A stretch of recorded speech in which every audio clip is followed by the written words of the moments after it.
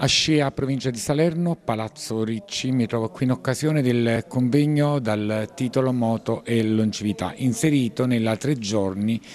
di For Longevity, edizione 2022. Il convegno è iniziato con l'intervento, i saluti e l'introduzione dei lavori di uno dei componenti della segreteria scientifica, il dottor Vincenzo Pizza, direttore dell'unità operativa di neurologia del PO San Luca di Vallo della Lucania. Sì, allora questa è la sesta edizione di questo appuntamento, di questo evento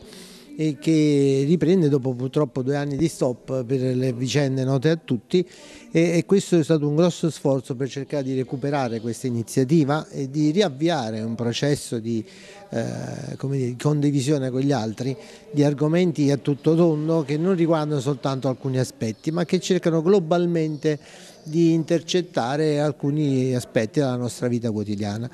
Soddisfatto molto il responsabile provinciale della SNALV comparto sanità Gennaro Vasile. Innanzitutto un ringraziamento a tutti i relatori del convegno, in primis al dottor Vincenzo Pizza che ci ha dato anche quest'anno la possibilità di essere collegati con il dottor Luigi Orio dal Brasile, eh, appositamente per noi, che è il presidente dell'Osservatorio internazionale dello stress ossidativo. Innanzitutto dopo questo periodo di pandemia siamo di nuovo qui puntuali a questo appuntamento eh, perché lo SNALV eh, ci tiene alla, alla possibilità di poter fare un aggiornamento anche ECM eh, in modo residenziale, quindi favorendo la partecipazione di tutti i nostri iscritti. Tra gli argomenti discussi, Officina e longevità a cura del dottor Giovanni Canora, membro fondatore e ricercatore di medicina mediterranea tradizionale, centro studi scuola medica salernitana, Cava dei Tirreno Salerno.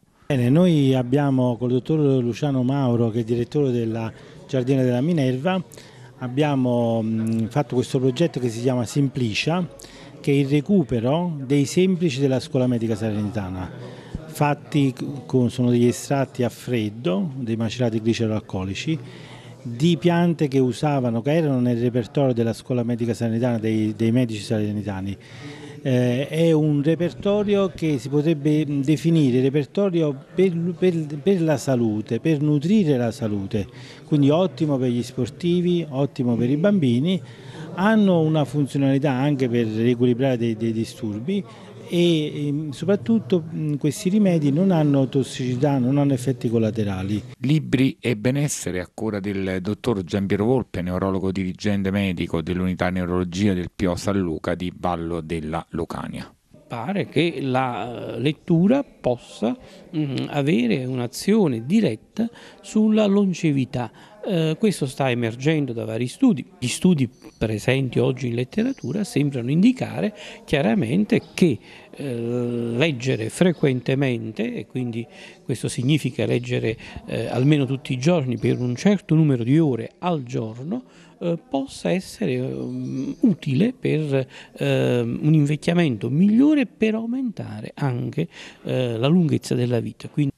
tra altri anche l'intervento dal titolo Corse Benessere a cura del dottor Francesco Palladino, coordinatore dei fisioterapisti dell'UOSD Recupero e Riabilitazione del PO San Luca di Ballo della Lucania. La mia relazione è stata sulla Corsa il Benessere perché vedendo i, pensando ai miei trascorsi che di agonista e poi da amatore ho voluto portare, hanno voluto che io praticamente relazionassi come la corsa o lo sport in generale possa trasformarsi in qualcosa di beneficio sia per quanto riguarda il fisico che la mente, oltre da, passando da